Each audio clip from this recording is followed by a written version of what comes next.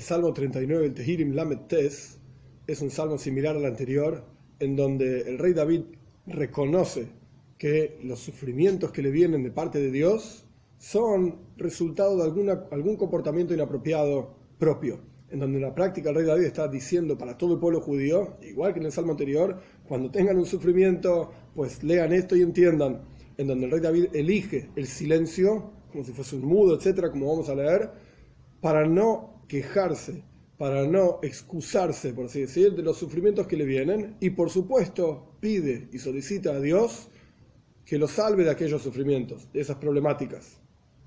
Vamos a ver. Para el director del canto, de los cantos, del coro, Lidusun. Lidusun, hay quienes dicen que era el nombre de una persona, que el rey David dio este salmo para que él lo cante, digamos, lo interprete en el templo, etc. Si bien no estaba construido el templo, como ya explicamos en otros salmos también, en donde estaba el Aaron Koidesh, donde estaba el Arca Santa, en el lugar de rezo, etc. Esta es una explicación. Y Dusun es otra explicación, una herramienta, un instrumento de cánticos para cantar.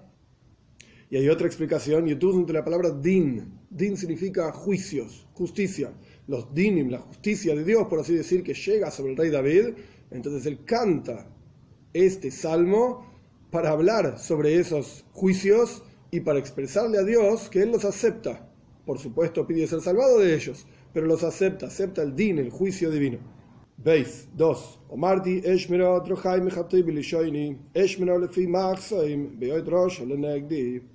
Dije, por así decir, en mi interior, me dije a mí mismo, voy a cuidar mis caminos de pecar con mi lengua. Es decir, no voy a justificarme y decir, si yo soy un tzadik, un justo, ¿por qué me pasa este sufrimiento? ¿Por qué me ocurre esto? Etcétera. No lo voy a hacer. Voy a cuidar mi boca como con un bozal para no decir nada. Incluso enfrente del rayo del malvado que está frente a mí. Hoy aún rayo el malvado le negdi frente a mí. ¿Por qué voy a hacer silencio justamente cuando el malvado esté frente a mí?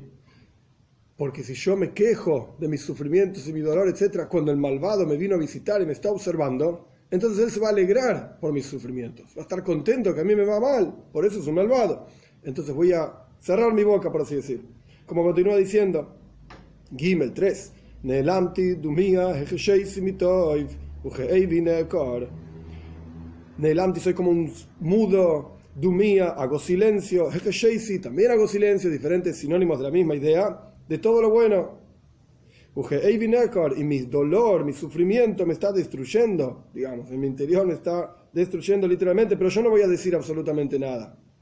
Dale, cuatro. Ham libi bekirbi bahagigi sibar eish dibarti Está caliente en mi corazón, en mi interior, hay, un fuego en mi interior de fiebre, de dolor, etcétera y cada vez que hablo, Bahagigi, cuando hablo Sibareish, arde un fuego de tan, tanto calor y tanta, tanto fuego que tengo en mi interior.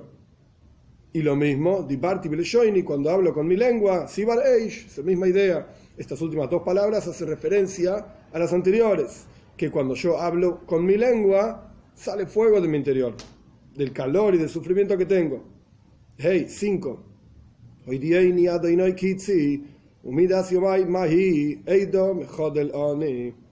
Infórmame, Dios, mi límite, o sea, cuánta vida voy a tener. Y si voy a tener que fallecer, pues entonces que fallezca en este momento para no tener que continuar sufriendo con la enfermedad que tiene, o con el dolor que tiene, la aflicción que tiene, etc. Prefiero morir ahora de esta enfermedad. Y continúa básicamente la misma idea con otras palabras. la medida de mis días, ¿cuál es? Decime, si me voy a curar de esto, entonces curame rápido. Y si no me voy a curar de esto, entonces basta. Eida me jodel oni. Yo quiero saber cuánto tiempo en el mundo tengo. Jodel es tiempo. ¿Cuánto tiempo me queda de vida? Vov, 6.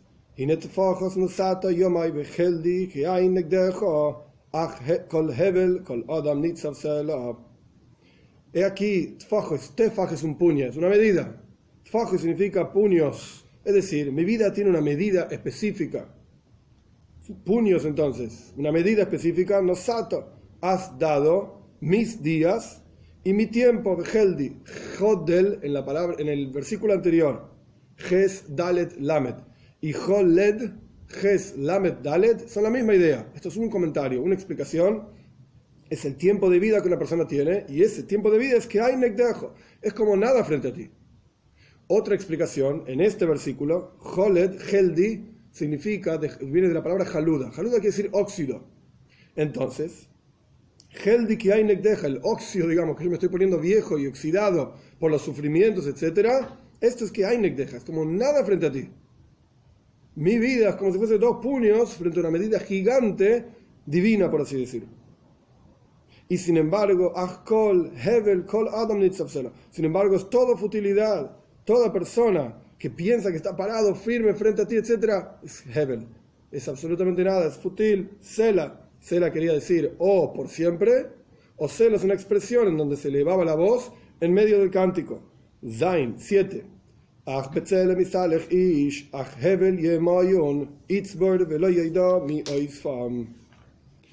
Sin embargo, en la oscuridad anda la persona y sin embargo, Hevel y futilidad es lo que acumulan y juntan, como las personas que juntan dinero, juntan y juntan, y sin embargo, Itzbor, juntan, y Mayun significa juntar dinero. Itzbor también es acumular, y no sabe ninguna persona quién es el que va a recoger realmente todo ese dinero que están juntando. Si la vida no le va a alcanzar para utilizar ese dinero, ¿cómo sabe la persona que va a quedar para sus hijos, su descendencia? No sabe dónde va a ir a parar. Como él mismo dice mucho más adelante, en otro salmo, las personas piensan que se llevan todo su dinero a la tumba y la tumba termina siendo un depósito y no se van a llevar su dinero. Ges 8.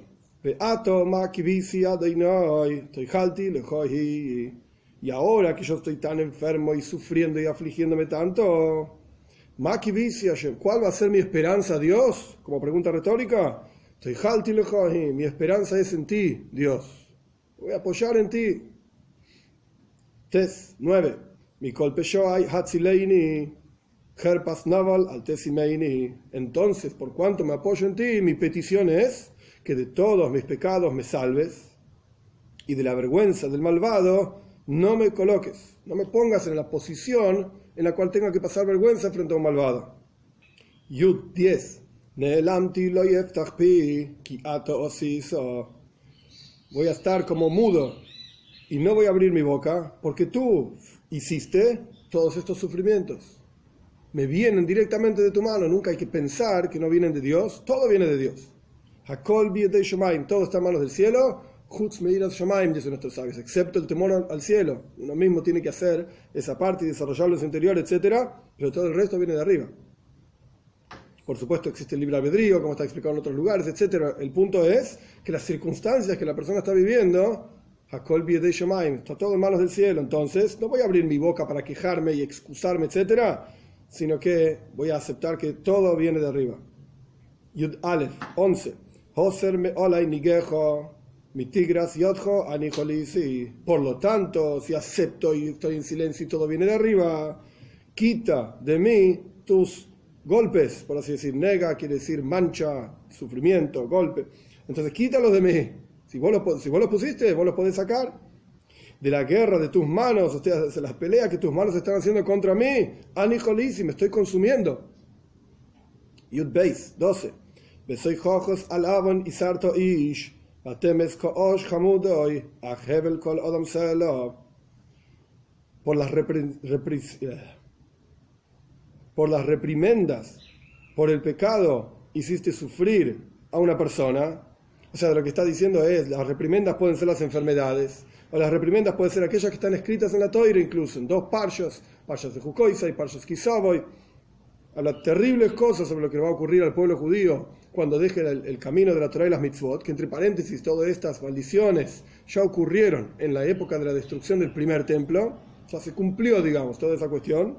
Sea como fuere, cerramos paréntesis, el rey David está diciendo, todos esos sufrimientos, todas esas reprimendas, por los pecados de las personas, hacen, y sarta ish, hacen que las personas sufran aquí abajo, con los castigos divinos. Y esto genera, matemes, matemes, y se derrite como un gusano lo más preciado, lo más preciado es el cuerpo, digamos, de la persona, a esto se está refiriendo, la carne misma de la persona se está derritiendo, se está pudriendo como, como si estuviese siendo comida por gusanos. Ah, Hebel Koladom Sela. ¿Por qué se pudre el cuerpo de la persona? Porque es todo futilidad. Ah, Hebel, sin embargo, Hebel, futilidad, toda persona, Sela. Entonces, en la práctica, ¿qué es lo que somos? ¿Para qué estamos aquí?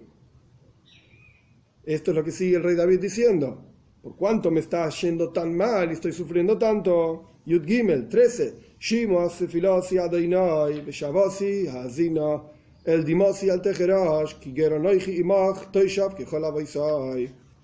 Escucha mi plegaria, mi rezo, Dios, y mi clamor.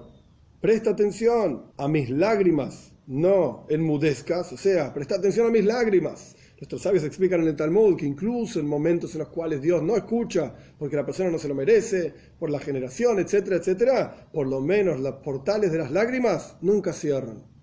Por el rey David dice, escucha mi rezo, Dios, mi clamor, etcétera. Y después continúa diciendo, el dimosi al tejerash, mi lágrima, no te hagas el sordo de ellas. Porque yo soy como un extraño contigo, Toishav, como una persona habitante, como todos mis padres. Era un extraño o un habitante. Un extranjero en un país no es un habitante del país. Entonces, ¿qué está diciendo el rey David? Soy como un extraño, un extranjero y como un habitante. Los comentaristas explican. Un ger, un, extranjero, una persona que no pertenece al lugar, va viajando de un lugar a otro. Prueba suerte en un lugar, no funciona. Prueba suerte en otro lugar, no funciona. Nosotros en el mundo somos como Geirim, somos como extranjeros. ¿Por qué? Porque en la práctica no pertenecemos a este mundo. La verdadera vida está en el mundo por venir. Por eso nuestros sabios dicen que un cementerio se llama Beis la casa de los vivos, porque ellos tienen verdadera vida. ¿Qué es vida? El apego a Dios.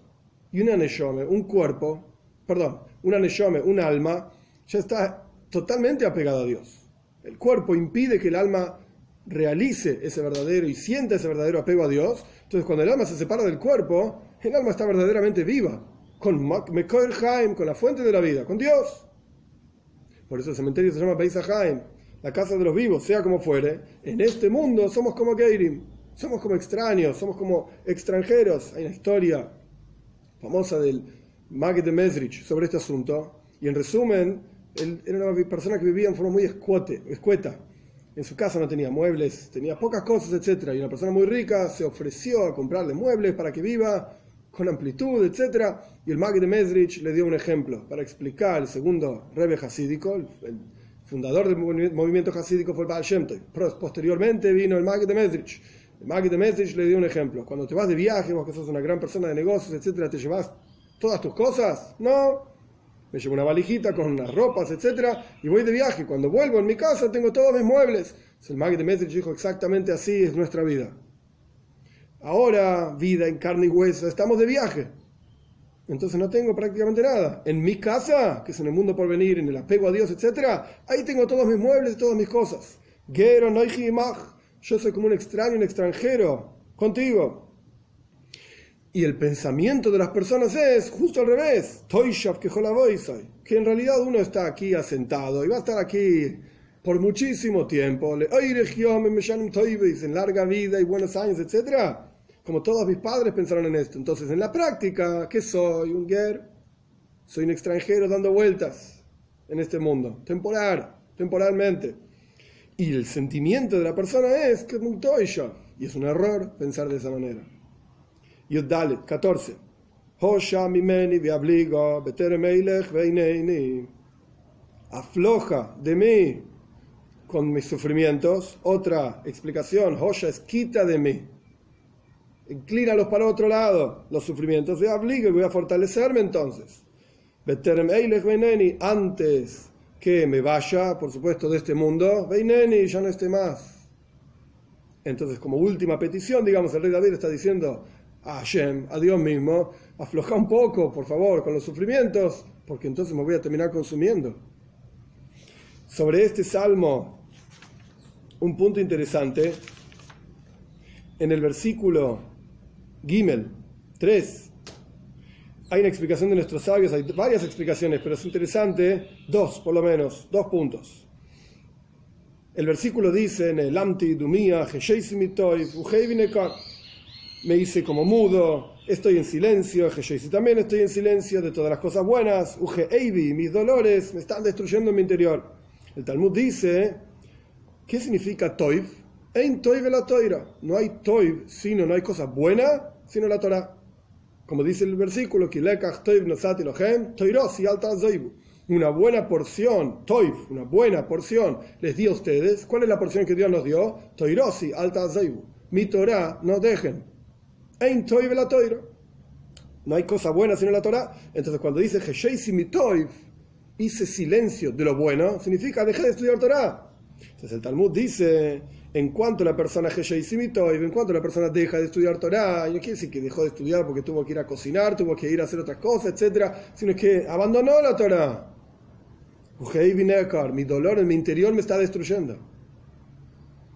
Y no se refiere solamente a un dolor físico en el que la persona está sufriendo una enfermedad porque dejó el camino de la Torah, etc. Es el dolor interior, el conflicto que todos tenemos en nuestro interior, porque la esencia de cada uno de nosotros es el estudio de Torah es la observancia de mitzvot y el vínculo con Dios. Y genera un dolor en el interior cuando la persona deja esto. Ay, hay gente que no tiene este dolor porque eligen callarlo. Eligen no prestar atención a este dolor porque en cuanto es como una herida abierta. Si uno no la toca, uno no la mira, ni se da cuenta. Pero en cuanto roza la herida, pues causa mucho dolor. Y eso es justamente lo que está diciendo el Talmud, hice silencio de lo bueno, me está destruyendo mi interior, mi dolor y mi aflicción. Otra idea que surge de este versículo, hay muchas formas de verlo, por lo menos una idea mística pequeña. Las tres primeras palabras del versículo, Nelamti, Dumia, Heje, estas tres primeras palabras se pueden entender de diferentes maneras, pero es Neit, Hey. Neit significa como paseando, pero en el sentido de que está yendo de un lugar a otro. Como le dice la toira sobre Caín, cuando es echado, etc. Vas a ser una persona que va a estar constantemente nómade de un lugar a otro. Nate. ¿Y qué es lo que es Nate? Hey. La letra Hey del nombre de Hashem, que es la fuente, digamos, de la creación del mundo en, la mística judía está llamado Pi Hashem, como si fuese la boca de Dios, que en otros lugares se llama Shina, la presencia de Dios, que es la creadora, digamos, de todo el mundo, por supuesto con la fuerza divina, etcétera, simplemente la fuerza creadora divina en el mundo. La palabra misma de Dios está como Neid, está como si fuese nómade en el mundo, está en exilio. La presencia misma de Dios está en exilio junto con el mundo entero en exilio. ¿Qué significa esto? Que la presencia de Dios está oculta en este mundo. Está oculta. Y lo que debemos hacer, el trabajo de cada uno de nosotros, es procurar revelar esa presencia de Dios en el mundo de manera tal de retornar a esa letra Hey, a esa palabra de Dios, de su exilio, de su oscuridad, etcétera, retornarla y volverla a unir a las otras letras del nombre de Dios. El nombre de Dios tiene cuatro letras, una Yud, una Hey, una Vav y una Hey. La última Hey, por así decir, se separó y está en exilio. Está en exilio, está oculta la presencia de Dios en el mundo. Y esto es también el significado de la palabra Teshuvah. Teshuvah significa retorno. Y si no presta atención es Toshuv, hey. Es retornar la letra hey, en realidad, para volverla a unir con el resto de las letras del nombre. Lo que significa esto en la práctica, la presencia de Dios está oculta en el mundo. Esto es lo que quiere decir Golus, el exilio. Y nuestro trabajo es revelar la presencia de Dios del mundo, retornando esta letra Hey a través de la observancia de mitzvot, a través del estudio de Torah, esto es lo que nos hace conscientes de la presencia de Dios en el mundo. Esto es lo que hace retornar la letra Hey, a volverla a unir con el resto de las letras del nombre santo de Dios. Y esto es lo que significa la venida de Moshiach, la revelación de la presencia de Dios a los ojos de carne y hueso de todos los seres humanos.